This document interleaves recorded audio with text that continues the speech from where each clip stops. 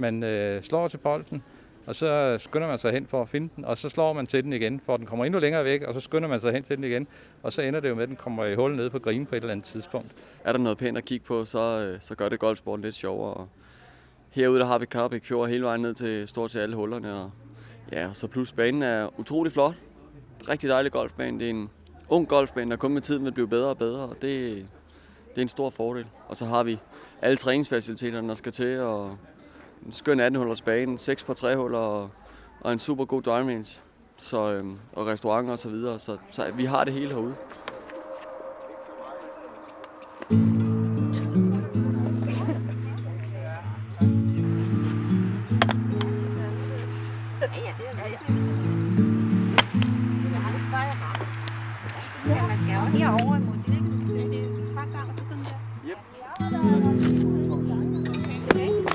Lige så hvis du kan bolden, så kan du også dreje kroppen med.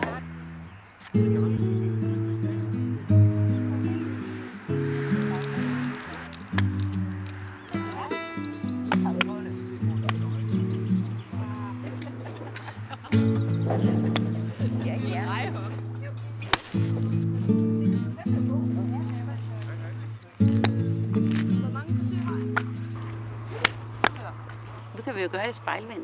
Se på mig en gang. Se her. Vi øh, har åbent hus her for øh, alle, øh, der har lyst til at komme ud og prøve, som øh, for at få et indblik i golfsporten, og ja, håber på, at der kommer så mange som muligt. Det, det går ud på, det er at vise øh, interesserede rundt herude i klubben, så de kan se, øh, hvordan det er at slå til en golfbold. Det, når de kommer her, så bliver de vist op på range, hvor der står øh, vores træner, og der står en fra eliteudvalget, og de viser lidt om, hvordan man holder på et golfjern. Og så får man nogle bolde, og så får man lov at stå og slå til, så man kan se, øh, om det er, om man synes, det er sjovt. Når man så har været deroppe, så øh, kommer man ned på øh, potting green, hvor man kan gå, og det er jo der, hvor man, hvis man ikke kender til det, så øh, kan man så gå og potte. Det er lidt ligesom minigolf, for at se, om man kan få, få bolden i hul. Hvordan gik det sidste lørdag så? Det gik rigtig godt. Der kom øh, omkring 50, og ud af de 50, der er 36, der har tegnet prøvemedlemskab. Dem har jeg haft fornøjelsen af at have selskab af i, i ugens løb her. Er det muligt at se forbedringer allerede så? Ah, forbedringer, forbedringer. De, øh, de kan selvfølgelig lidt mere, end da de kom, men øh, de lærer her de første øh, uges tid, der lærer de kun i de mest basale ting. Men øh, ellers så øh, kommer det stille og roligt næste uge frem i hvert fald.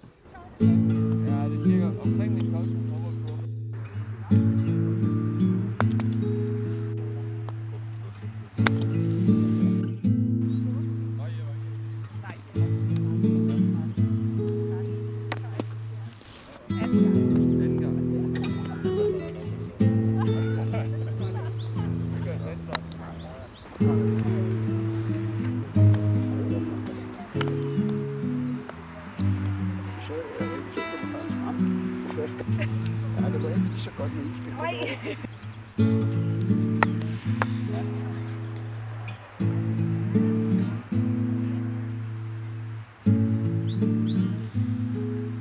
der med, at det kun er for de rige, det er en gammel skrøne. Det er øh, faktisk den hurtigst voksende sportsgren i Danmark. Det er golfsporten, og det er alle typer mennesker øh, og alle erhverv, der kommer. Jamen, øh, førhen var det også stort set kun for de rige, men øh, nu til dags er golf faktisk blevet en sport for alle, og jamen, alle kan komme og spille. Det, øh, det, det er lige fra mange juniorer, de starter hen i de små alder nu, og så øh, jamen, det almindelige hverdagsmennesker kommer også nu. Og så er der selvfølgelig også dem, der, jeg ved ikke måske, hvad kan man tillade sig at sige, der er måske lidt mere snobbet, men, men det er for alle nu til dags.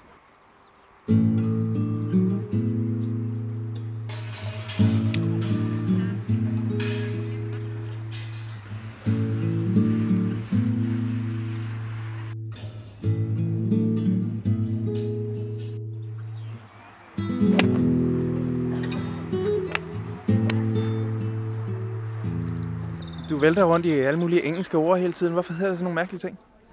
Øh, det er jo fordi golf det starter, men der er mange diskussioner hvor det starter hen, men de fleste mener, at det startede i Skotland, så øh, de har haft æren af at lægge øh, ord til, til de fleste ting, og det, det holder man stadigvæk rundt i, birdie og alt sådan nogle ting. Så øh, det holder vi næsten alle sammen rundt i herude, og vi ved næsten alle golfspillere ved, hvad alle tingene betyder, men det, det er noget, der kommer hen ad vejen. Det kan godt lige de første gange virke lidt indviklet, men vi har et begynderudvalg, der tager sig af de nye, som sørger for, at man kommer ind i både regler og, og hvordan man ellers gebærder sig på en golfbane. Det er nogle ting, man lærer stille og roligt hen ad vejen.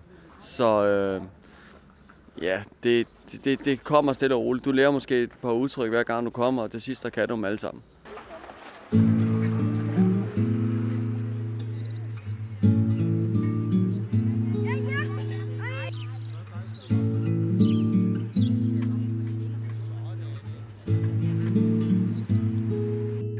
Godt øh, kammeratskab, og man lærer øh, mange mennesker at kende i golfsporten, fordi man bliver sat sammen i forskellige bolde, når man skal ud og spille. Der er også herude, der er både dameklub og herreklub og øh, begynderklub, så øh, det er en rigtig god måde at gå og hygge sig på. Ja, nu er det heldigvis sådan, at, at min hobby er også min arbejde, da jeg er golftræner herude. Så øh, ja, jeg har spillet golf nu i snart 12-13 år, og det er det, jeg brænder for. Og når man samtidig gør det sin hobby til sit arbejde, så, øh, så bliver det lidt sjovere.